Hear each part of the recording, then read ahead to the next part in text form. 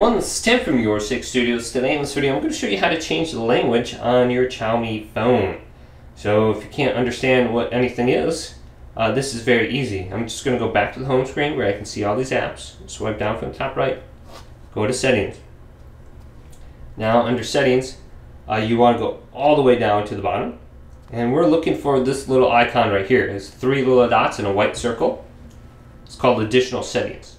It's going to be the fourth up from the bottom right below Google. Now the second option down is language and inputs and you can see the region. Mine's the US. And the first option under language and inputs is languages. And then just go to your chosen language. It's probably going to be English, which you should be able to read when you swipe on down. So here's English. Very easy to do. Hopefully this video did indeed help you out. Did leave it a big thumbs up and subscribe my channel down below for more tech out videos coming up next on Your Six Studios.